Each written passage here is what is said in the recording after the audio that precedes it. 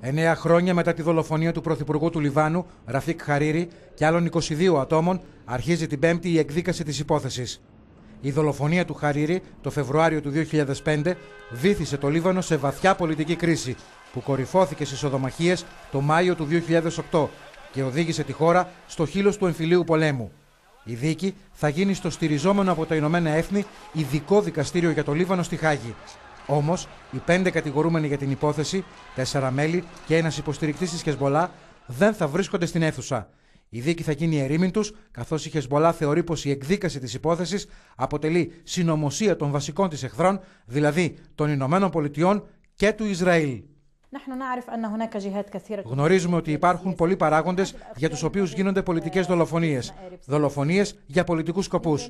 Γι' αυτό δεν νομίζω ότι οι δολοφονίες με πολιτικούς σκοπούς θα τερματιστούν μέσα από ένα δικαστήριο, εξηγεί πολιτική αναλύτρια.